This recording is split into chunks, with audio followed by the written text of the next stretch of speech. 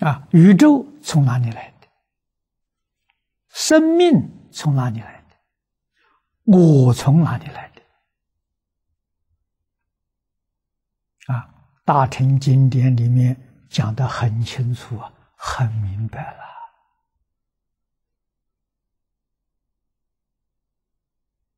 啊，是从心性识变的。啊，这个心就是性。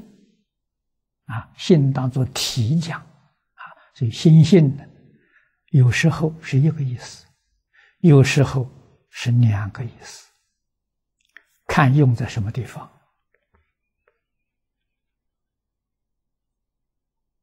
啊，也可以把心性连在起来一起讲。心性是真性。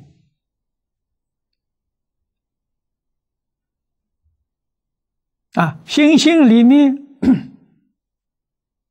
没有物质，也没有精神。啊，就像哲学里面所讲的本体，宇宙万有的本体，在大乘教里面称为心性。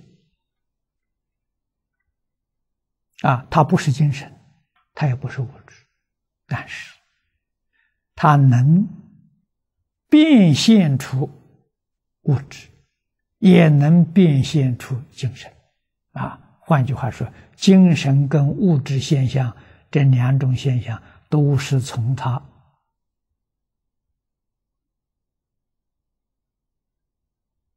显现出来的，都是从它而生的，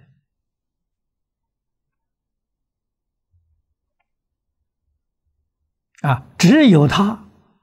是永恒的，不生不灭啊！它没有生，当然就没有灭啊！所以它什么都没有，不能说它无。它能生万法，不能说万法是有啊！现代的科学家，我们也很佩服他们。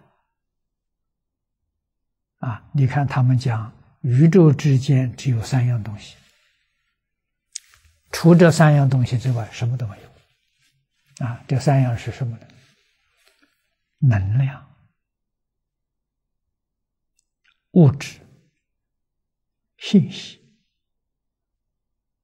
啊，这近代科学家讲的。啊，这跟大乘阿赖耶里面三细相啊。很相同。阿赖耶的业相就是能量，阿赖耶的现象就是信息，阿赖耶的境界相就是物质。唯识学家，你看他讲的宇宙之间，唯识唯有这三样东西。除这三样东西之外，什么也没有。啊，这些这些一切境界都是这三样东西变现出来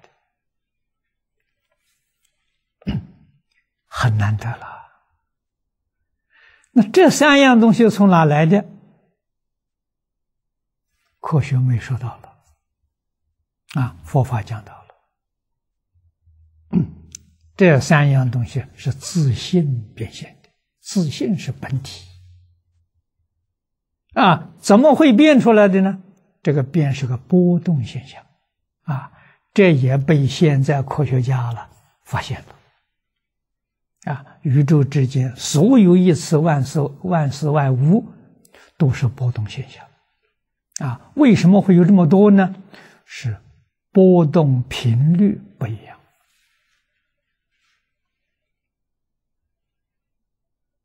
啊，所以它变现的物质就不相同。佛在三千年前把宇宙真相宣布了，啊，他怎么知道的？啊，他比科学家知道的还清楚，还要详细。什么原因？啊，科学家是从数学、数理推论到底，然后用科学的工具方法把它证实。啊，让我们知道了。啊，那佛没有用数学，也没有科学工具，他怎么知道的？知道的那么清楚，超过科学家太多太多了。啊，什么原因呢？佛菩萨是亲眼看到的，这个厉害啊！啊，亲眼看到的，啊，为什么我们看不到，他能看得到呢？他用清净心看到的，他用平等心看到的，他用圆满觉悟心看到的。这佛说了，我们都有这个能力，只是现在呢，我们起心动念、分别执着，这叫烦恼。把我们的本能障碍住了啊！所以佛家的修行，修什么禅定呐？八万四千法门，通通修禅定啊！如果离开禅定，这就不是佛法。我们念佛法门是不是修禅定的？是的。啊，全都是修禅定，只是方法不一样啊！啊，这个定功的浅深不相同啊。六道轮回，六道轮回不要很深的定，就看到了啊，尤其是欲界。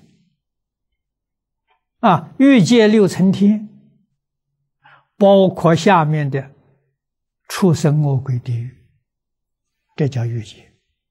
欲界有小小的定功啊，就见到了。啊，这个小小的定功，《华严经》上讲的初信位的菩萨。好像佛教小学一年级啊，小乘呢虚脱还果，他就有能力见到了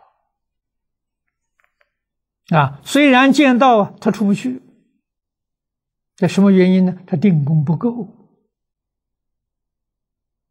啊，他才得一点小小清净心啊，恢复两种能力。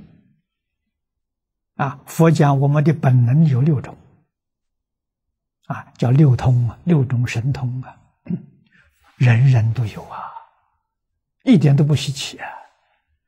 只要你把障碍去掉啊，这个能力就恢复了。